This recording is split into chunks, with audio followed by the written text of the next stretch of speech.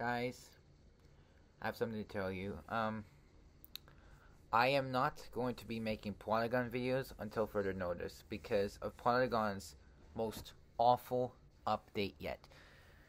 The reason, reasons for this update are the scene is stretched.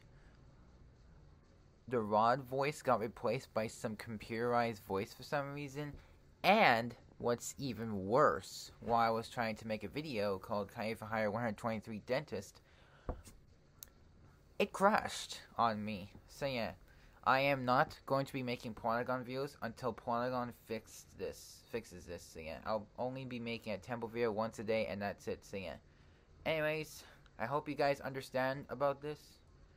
And also Plotagon, if you're watching this, fix it immediately, because I'm getting sick of waiting. So yeah. Anyways. This is GrantMitch Videos signing off. Peace. Bye. And I also hope you understand.